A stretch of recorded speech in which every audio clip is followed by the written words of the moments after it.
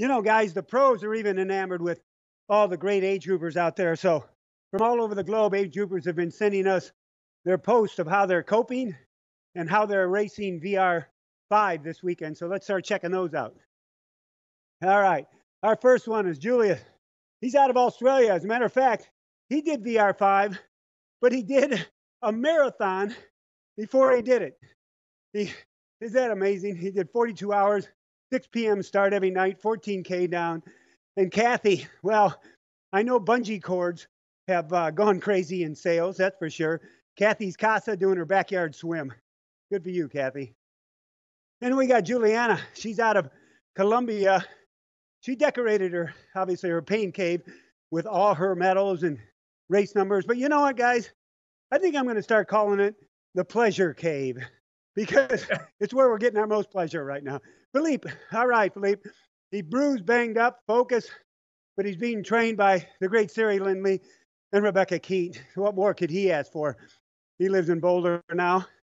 Then we got Kristen. She's riding the Great McKenzie Pass in Central Oregon. There she is at the top, 5,325 feet, and it's not open to traffic yet. Oh my gosh, I'm jealous. How great would that be? And then Victor out of Indiana. I don't know what he did his picture, but this is him doing the 90K ride for the VR5. Keep it up, Victor. And another Iron Mom, Julie Baki out of Michigan, two time Ironman. And best of all, she is an emergency room nurse out of Michigan. Thank you very much, Julie, for all you're doing for all of us. And then Ree, oh, hey, guys, isn't it amazing? Every time we see a picture from Hawaii, it's we want to go there. She took this on May 1st, May Day, but in Hawaii, that's known as Lei Day. Good for you, Reach, sharing that with us.